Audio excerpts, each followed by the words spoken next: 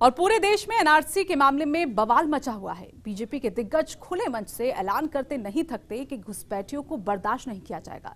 लेकिन इस बीच राजस्थान की हकीकत यह है कि यहाँ बांग्लादेशी घुसपैठियों और रोहिंग्या परिवारों को वोट करने का अधिकार मिला है। जयपुर के कई इलाकों में इनकी पहचान कर ली गई है। पुलिस ने इनके मतदान पहचान पत्र, आधार, राशन और अन्य दस्तावेज़ निरस्त करने के लिए कई साल पहले केवल पत्र लिखकर अपनी ज़िम्मेदारी पूरी कर ली है। अब ऐसे में सवाल ये उठता है कि बीजेपी अपने ही स्टैंड पर कायम नहीं।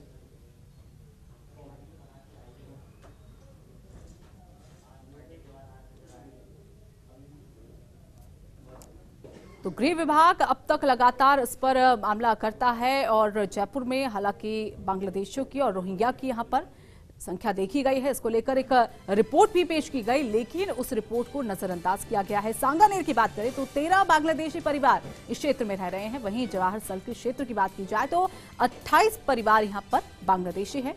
तो राज्य सरकार घुसपैठियों को लेकर गंभीर होने की कोशिश की जाती है। हर मंच पर खुले तौर पर इसको लेकर कहा जाता है, लेकिन गंभीर नहीं है। ये इस बात का यहाँ पर कहीं ना कहीं सबूत है। क्यों? क्योंकि पुलिस ने जो दस्तावेज़ यहाँ पर दिए हैं घुसपैठियों के उसको यहाँ पर कहीं ना कहीं निरस्त कर दिया गया है और इनको यहाँ पर वोट करने का अधिकार मिल गया है।